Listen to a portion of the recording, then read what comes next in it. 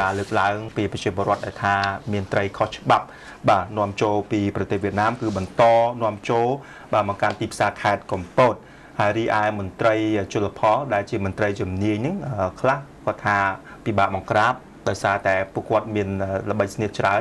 ហើយខ្លះទៀតគាត់ទទួលស្គាល់ថាពិតជាមានមែនបាទមន្ត្រីជលផលខេត្តកំពតបាទគឺរងការរិះគន់ពីប្រជាពលរដ្ឋថាបានបាត់ដៃឲ្យត្រីខុសច្បាប់ បាទរបស់វៀតណាមបន្តចូលទីផ្សារនៅក្នុងខេត្តកំពតជារៀងរាល់ថ្ងៃដោយគ្មានការទប់ស្កាត់និងត្រួតពិនិត្យត្រឹមត្រូវឡើយបើយោងតាមសេចក្តីរាយការណ៍បានឲ្យដឹងថាត្រីចិញ្ចឹមរបស់វៀតណាមជាច្រើនតោនគឺមានប្រភេទត្រីចាបត្រីរ៉ស់ត្រីអណ្ដែងនិងត្រីក្រហមគឺត្រូវបានក្រុមឈ្មួញត្រូវរើគ្នានាំចូលតាមច្រកតនហនជាប់ព្រំដែនកម្ពុជាវៀតណាមនៅក្នុងស្រុកកំពង់ត្រាចរៀងរាល់ម៉ោង4ទៀបភ្លឺ តែគ្មានការបង្ក្រាបនិងការទប់ស្កាត់ពីសមត្ថកិច្ចជំនាញនោះទេតើតងទៅនឹងរឿងនេះបាទតើតងទៅនឹងការលើកឡើងពីប្រជាពលរដ្ឋនេះដែរលោកយុនវេហាដែលជានាយសង្កាត់រដ្ឋបាលជលផល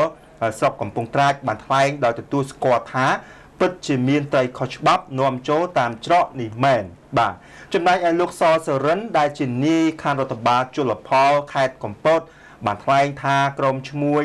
ដឹកបង្កប់នៅក្នុងបន្លែពិបាកក្នុងការបង្ក្រាប